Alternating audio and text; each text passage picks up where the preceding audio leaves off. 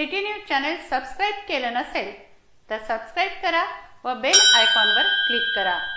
शेतकरी कामगार विरोधी विधेयकाचा निषेध करण्यासाठी अंगावर चिखल घेऊन अर्धनग्न आंदोलन.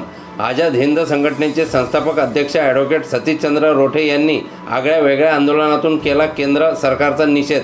संपूर्ण शरीराला चिखल लावून व अर्धनग्न होऊन अंदानी अंबानीच्या इशाऱ्यावर चालणाऱ्या केंद्र सरकारचा निषेध करीत शेतकरी आणि कामगारांच्या जीवावर बेतणाऱ्या सर्व अटी मंजूर झालेल्या विधेयकातून वगळण्यात यावा. शेतकरी व कामगार विधेयकात दुरुस्ती करण्यात यावी. यासाठी बुलढाणा जिल्ह्यातील मलकापूर तालुक्यात धुपेश्वर येथील पूर्णा नदीच्या किनाऱ्यावर आझाद हिंद संघटनेचे संस्थापक अध्यक्ष ॲडव्होकेट सतीशचंद्र रोठे यांच्या नेतृत्वात सतत आंदोलन सव्वीस सप्टेंबरला करण्यात आले आहे.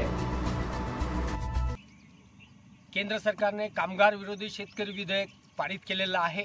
सदर विधेयकाचा निषेध करण्यासाठी आझाद हिंद संघटनेच्या वतीने राज्यभर आंदोलन उभारण्यात आलेलं आहे.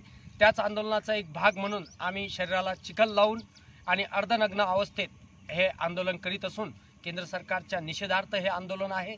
केंद्र सरकारने त्वरित कामगारांच्या शेतकऱ्यांच्या विरोधातील सर्व नियमटी विधेयकातून वगळण्यात याव्या आणि विधेयकात दुरुस्ती करण्यात यावी यासाठी आम्ही हे आंदोलन करीत आहोत.